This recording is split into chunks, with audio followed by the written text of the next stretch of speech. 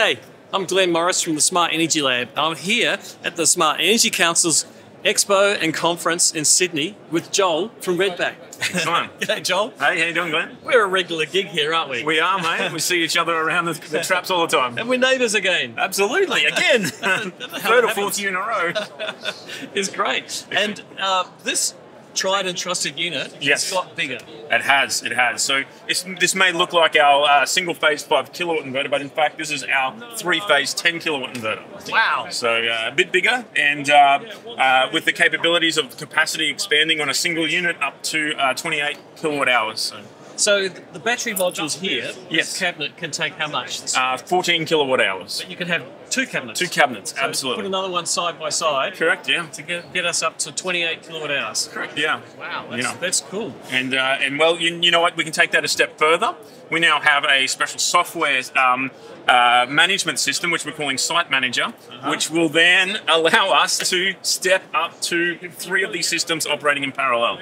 Okay, let me get that into my head. So, Yeah. Site Manager is software. Software, yeah, It uses the existing products, yeah. but makes them into one virtual product. Correct, absolutely. It, it, it aggregates all the, all the data, the capacity, the PV into one monitoring platform and a management system. So that means that um, you can have multiple um, uh, strings connected to your individual inverters, and if one string or one system just so happens to be producing more power than the others, it'll evenly distribute that energy or power that it's being produced across the batteries in the multiple systems in the network. Right, so you won't have uh, one battery going completely empty while the others are Correct. full and can't be charged. Correct. It'll even them out, even the state of charge out across all the units, and it'll drop in and rise at them as required based on the demand on site, based on the solar available, and and that sort of uh, that sort of operating methodology. Wow, that's pretty cool. Now, I believe you've got a, a little project you've been working on for a while here, the uh, string inverters. The String inverters. We do have string inverters. Should we head over? Let's go and head over. Awesome. So, Joel, um, this has been, I'm told it's your baby. Yes, little baby here. Um, so this is our string inverter. Um, this one particularly is our five kilowatt. Um, uh, it- uh, again, similar to what standard string tie inverters would do, connect to the grid, take that PV and, and distribute in the house or directly out to the grid. But um, with our particular feature, uh, our product here, um, we've got a new little feature that is included in every box, which is our smart load control. Okay, so what is a smart load control? So a smart load control is a special relay or control that will operate based on measurements that our system can take. So based on what can be exported to the grid or imported from the grid, we can turn this relay off and on based on that.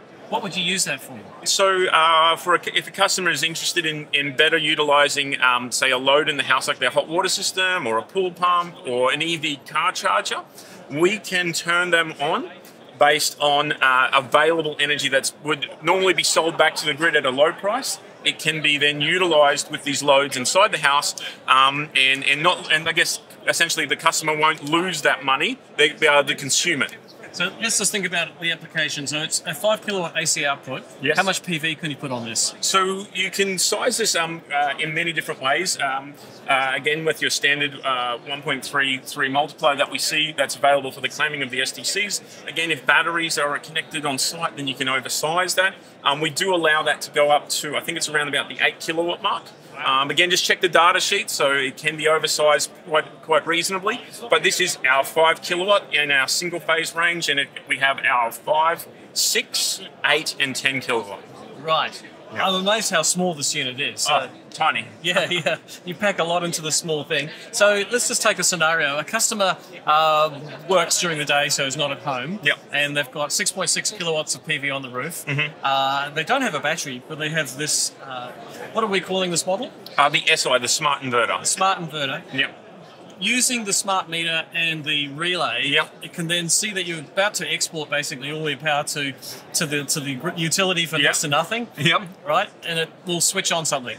Yes, we can switch on a load that you connect to that relay. Yep. Like a hot water. So it essentially becomes an, a battery. You can store that energy in another format, like in, in the in the form of hot water, um, or uh, in your EV if you're charging your EV, or again running your pool pump. So you, you get some extra work out of this, and uh, and and and then those the loads aren't consuming power from the grid at night.